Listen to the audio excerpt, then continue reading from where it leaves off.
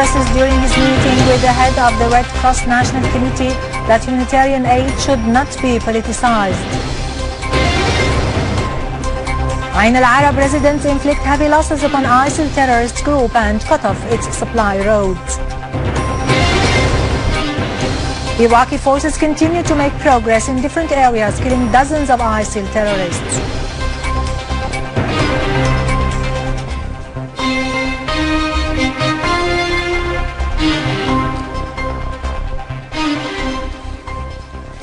Good afternoon, ladies and gentlemen. I'm Irado Krikorian from the News Center in Damascus. Deputy Prime Minister, Foreign and Expatriates Minister Walid Al-Muallim today discussed with the chairman of the Red Cross International Committee, Peter Maurer, cooperation between Syria and the committee. Mr. Maurer expressed satisfaction over the ongoing cooperation between Syria, his organization and the Syrian Arab Red Crescent and the facilities it presents to ensure the delivery of assistance to those who need it. He underlined the importance of enhancing cooperation in the domain of the international humanitarian law. On his part, Mr. Al-Muallim expressed Syria's appreciation for the efforts exerted by the International Red Cross Organization and the assistance it presents to it in a bid to overcome the difficulties the country is facing and for its solid cooperation with the Syrian Arab Red Crescent. The Foreign and Expatriates Minister highlighted the importance of keeping humanitarian organizations away from politicization. He welcomed the ideas presented by the chairman of the Red Cross International Committee. Deputy Foreign and Expatriates Minister Dr. Faisal Maqdad had held a session of talks with Maurer on the close cooperation between Syria, the Red Cross and the Syrian Arab Red Crescent Organization. Maurer expressed appreciation for the efforts exerted by Syria in cooperation with his organization to face up to current challenges and the importance of implementing joint programs in the field of humanitarian work. Dr. Maqdad talked about the foreign intervention by certain states in order to flare up the crisis in the country, which would ultimately increase the burdens of the international humanitarian organizations. He affirmed the non-politicization of the organizations that provide humanitarian assistance. Syrian Arab units have eliminated a number of terrorists, wounded others and destroyed their equipment in the town of Nawa in Daraa countryside. In Idlib suburb, a number of terrorists were killed or wounded in Abu Duhur and the villages of Al-Buwaiti and Qara al-Ghazal. The residents of the Syrian town of Ain al-Arab have made a new achievement in their fight against the terrorists of the so-called Islamic State, cutting one of the main supply roads militants used to the southeast. This comes as Kurdish People's Protection Units are launching qualitative strikes against ISIL positions, inflicting heavy losses on them. Fierce clashes are taking place in several parts of Ain al-Arab town and its vicinity amid advancements by Kurdish fighters in southern and eastern parts of the town town. This comes after the People's Protection Units took control of Mashtanur strategic hill, advancing more towards Turkish borders and blocking more supply lines for terrorists from the direction of Turkey. Russian Deputy Foreign Minister, Russian President's envoy to the Middle East, Mikhail Bogdanov, has affirmed his country's support for the resumption of inter-Syrian dialogue to find a solution to the crisis.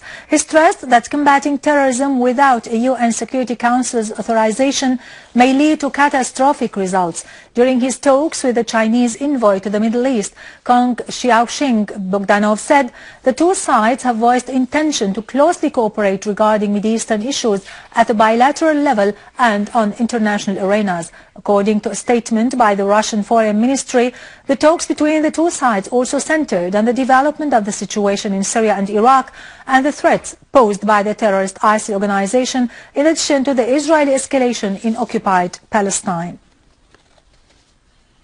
Iranian President Hassan Rouhani has stressed that extremism and terrorism represent immense problems that should be confronted and eliminated in order for moderation, peace and friendship to prevail in the region.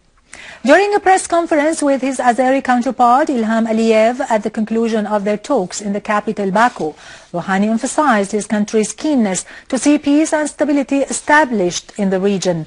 He pointed out that Iran and Azerbaijan wish to cooperate to preserve the security and stability of the area.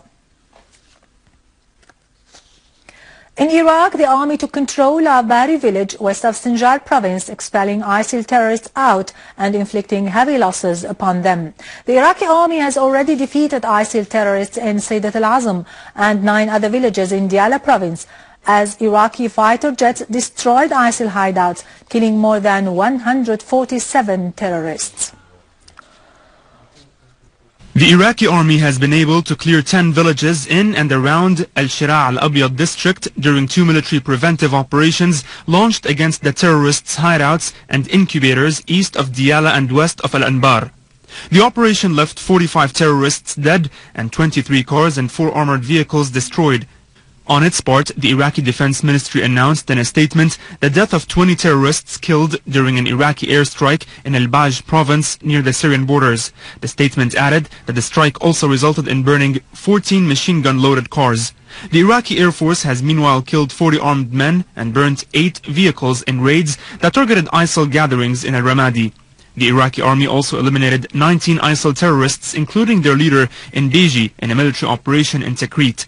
Twelve other terrorists were moreover killed, including ISIL leader in Al-Fallujah and his assistant. In occupied Palestine, four citizens were wounded by Israeli fire during fierce clashes with the occupation soldiers in Nablus. Palestinian sources said that occupation soldiers broke into a refugee camp east of the city and opened fire and tear gas on Palestinian citizens, causing several injuries and suffocation cases. Israeli soldiers broke into several houses in occupied Jerusalem and arrested five citizens, including a girl.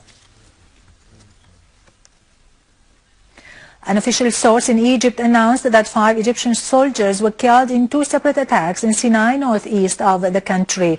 Meanwhile, the Egyptian army lost contact with eight army personnel during the counter-terrorism military operations launched by the Egyptian army against terrorists near Dumyat coast.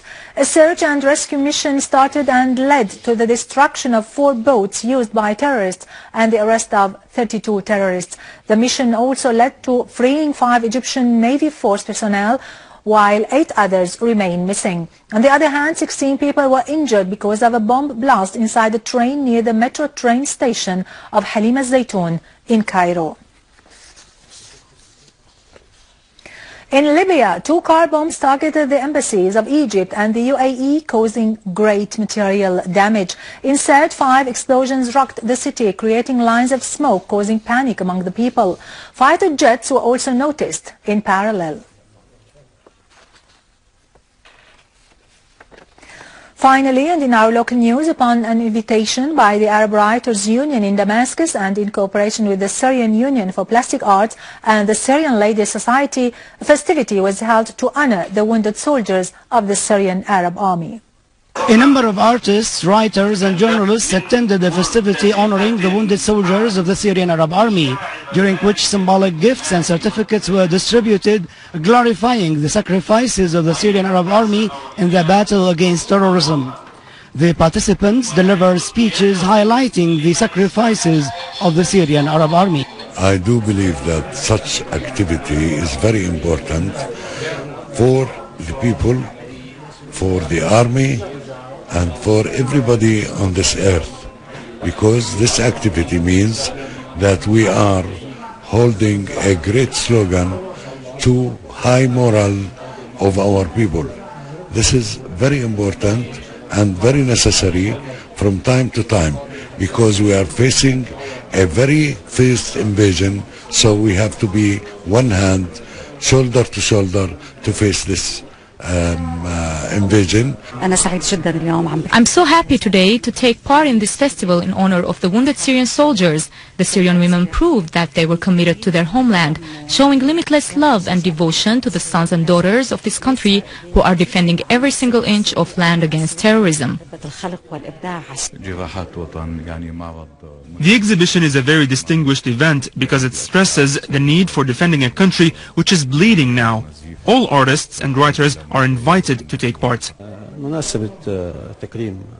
It is always important to honor the wounded Syrian soldiers who are defending the homeland against vicious terrorism and protecting the national borders against enemies. By the end of the festivity, an art exhibition including a number of photographs and oil paintings was put on display, touching a number of important themes. With this, we conclude our news for today. Thank you for watching. For more details about Syria and the region and to view this bulletin again, you can always visit our website in English, syriaonline.sy. Now to latest business and market news with Karun Kürkcan, but after a short break.